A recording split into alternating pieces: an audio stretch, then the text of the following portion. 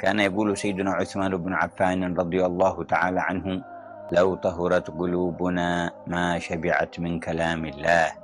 لو طهرت قلوبنا ما شبعت من كلام الله.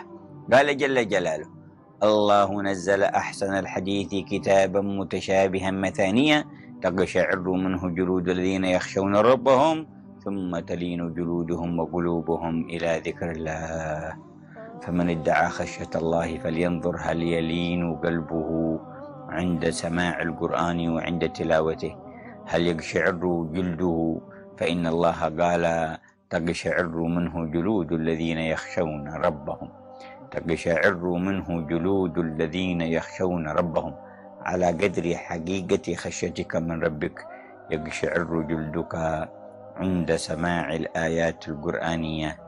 وعند تلاوة هذا القرآن.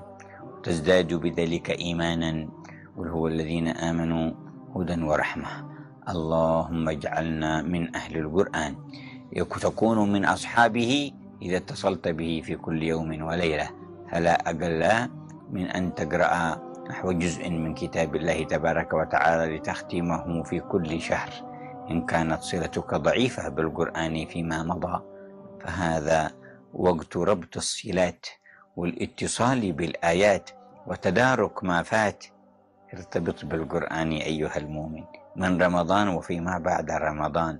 لا تقل قراءتك عن جزء من القرآن في اليوم والليلة فتختم في كل شهر إن لم يكن أكثر من ذلك.